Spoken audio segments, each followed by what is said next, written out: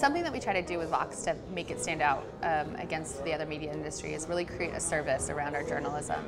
We want to make sure that we are helping people understand the news around them rather than just uh, deliver the latest information. I think that that was the fundamental difference um, in our approach. We felt that there was a lot of new information, but sometimes what really is important about the news is not the latest. It's the context, the history, the background. And so that's what we really try to do at Vox.com.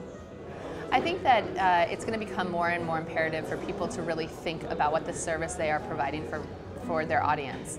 Uh, and they have to um, be tough on themselves to choose the platform or to choose the um, area that they can really win at. There's so many options out there right now that I think we need a, a better focus. And um, if you start from the place of what is what can I deliver to an audience better than anyone else, I think if you can figure out the answer to that, um, you will not only find real success, but uh, um, figure out ways to monetize that. And that's that's what we need to be smarter about is really getting back to the starting point of who is your audience and what can you do to serve them.